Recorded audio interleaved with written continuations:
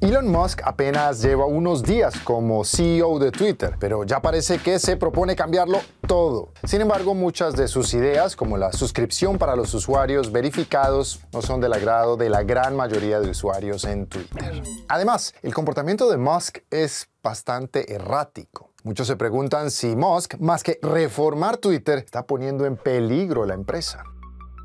¿Está muriendo Twitter? Eso se preguntaba Elon Musk en abril de este año, apenas un par de días antes de anunciar sus planes de adquirir la plataforma. Y la pregunta es legítima. El número de los llamados heavy tweeters, los usuarios más activos, ha disminuido desde hace algún tiempo. Este grupo solo representa alrededor del 10% de todos los usuarios mensuales, pero son responsables del 90% de los tweets y de la mitad de los ingresos globales de la plataforma. Sin embargo, Musk tiene un plan para capitalizar la compañía cobrar a los usuarios verificados una cuota mensual de 20 dólares para mantener su estatus oficial. Pero muchos ya avisaron que esto no les gusta nada. Al escritor Stephen King no le gustó nada la idea. Con casi 7 millones de seguidores, sus tweets proporcionan mucho tráfico y por tanto ingresos a Twitter. Aunque King no debería tener problemas para pagar una verificación. ¿Ustedes qué piensan? En todo caso, Elon Musk respondió y sugirió una tarifa de 8 en lugar de 20 dólares. Según la nueva bio de Musk, Stephen King no es el único que se queja de la tarifa. Otra razón que parece estar alejando a los usuarios es el plan de Elon Musk de hacer de Twitter un refugio de la libertad de expresión. El motivo es el siguiente, Musk se considera un absolutista de la libertad de expresión.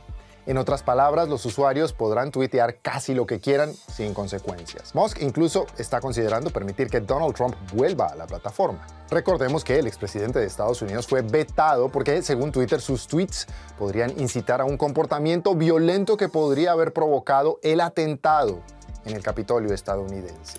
Y la verdad es que la moderación de contenido sí que es necesaria para mantener la seguridad de las comunidades online. Es una línea muy delgada la que separa la libertad de expresión de permitir la incitación al odio. Bajo el reinado de Elon Musk, ya pinta más difícil para los empleados de los equipos de confianza y seguridad de Twitter bloquear o penalizar el discurso de odio y la información engañosa. Y bueno, los insultos raciales ya han aumentado un 500% en la plataforma desde la toma de posesión de Elon Musk. Parece que los troles están poniendo a prueba los anuncios del nuevo CEO.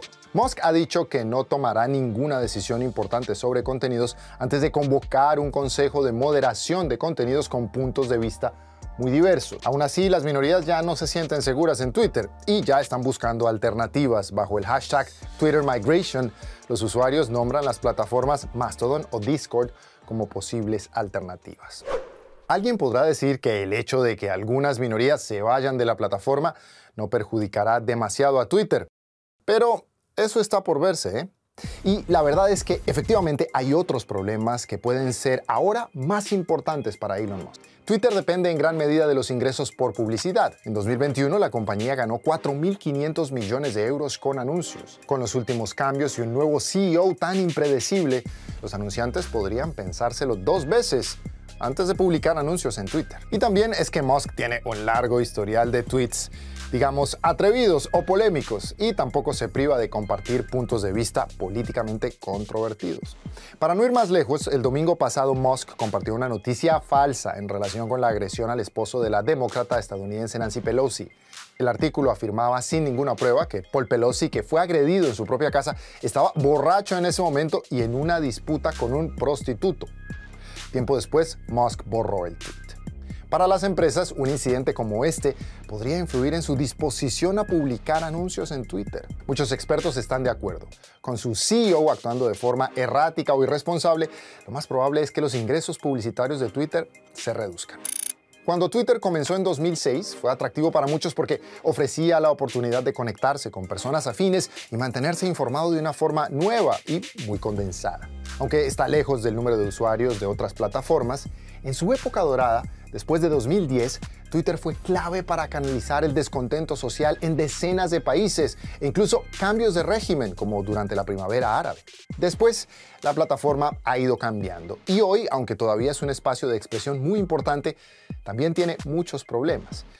Y de entrada, en lugar de resolverlos, el llamado rescate o liberación del pájaro, como lo denominó Musk, parece estar creando más problemas que beneficios. ¿O no? estamos entrando a criticar muy rápido. Esperamos sus comentarios.